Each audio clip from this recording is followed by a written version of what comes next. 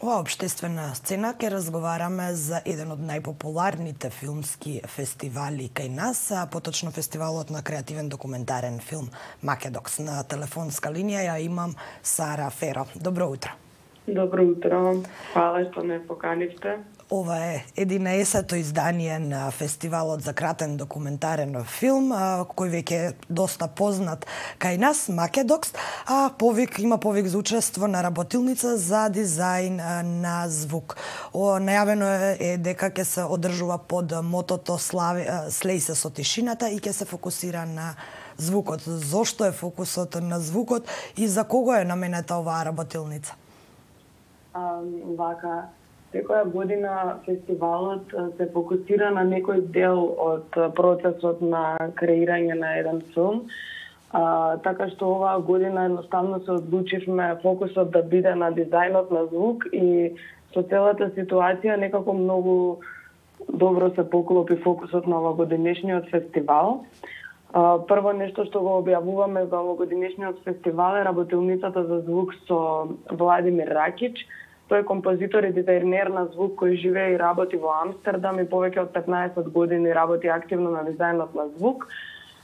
Um, преку оваа работилница сакаме да им дадеме поддршка на, на филмските автори од Балканскиот регион кои поради ситуацијата може би имаат потешкотија да ги завршат своите започнати проекти, па така преку оваа работилница тие ќе можат да а, се фокусираат на дизајнот на звук и а, да го усовршат на некој начин. Фестивалот вообичаено се одржува на отворена сцена во Куршумлијан, иако има активности и низ државата, но со оглед на оваа пандемија, какви се плановите за оваа година, бидејќи многу културни настани, па и фестивали од областа на филмот беа откажани во овој период поради светската пандемија од COVID-19? Така, значи ние до сега во јули го организиравме патувачкото кино во руралните средини во државата, меѓутоа уште пред да почне пандемијата, ние решивме патувачкото кино да го преместиме за септември, така што се уште не сме сигурни за неговата форма оваа година. Во врска со фестивалот, оваа година новата декада на фестивалот ја започнуваме во некоја друга димензија и ќе ни заземе некоја хибридна форма, значи дел од активностите ќе мора да се одвиваат онлайн, како што е работилницата за звук. Исто така и второто издание на Маке Копродукс форумот за копродукции ќе се одвива целосно онлайн. А, во однос на проекциите под отворено небо се надеваме дека во согласност со мерките ќе можеме да изведеме некаква форма на а, физички фестивал. Така годинава фестивалот влегува во втората деценија од своето постоење. Какви новитети ќе донесе? Ќе има ли промени во програмата, бидејќи генералниот впечаток е дека се врти се повеќе кон младите?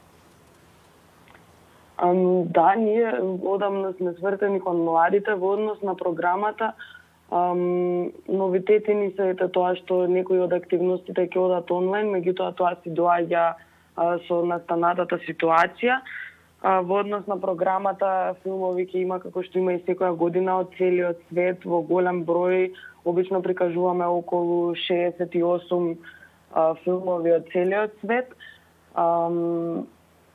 Исто така би сакала да напоменам дека волонтерите секогаш кои биле дел од нашето семејство и оваа година ќе бидат повторно без разлика на формата која што имаме на фестивалот, а повеќе за програмата ќе откриеме понатаму. Така и Сара, за да го заокружиме овој разговор, каква е важноста на овие филмски фестивали кај нас во смисла на тоа дали доволно, дали успеваат да го испромовираат македонскиот филм онака како што е замислено? Да, се разбира дека е многу важно. Значи, ние сите делуваме во кон промоција на филмската култура и филмската едукација. И многу е важно поради тоа да се задржи континуитетот на фестивалите и да не се одложуваат фестивалите поради настанатата ситуација, особено во ова време. Е многу важно да се продолжи со културните активности кои сега се сведени на минимум. И токму поради тоа во ова издание на фестивалот ние сакаме да дадеме поддршка на филмските автори кои поради ситуацијата имаат потешкоти да ги завршат своите проекти. Така и да не забораваме дека зад нас ја имаме најуспешната филмска година до сега и сите би сакале тој успех да продолжи и понатаму. Сара Феро, ти благодарам за ова вклучување во утрински брифинг. Ти благодарам.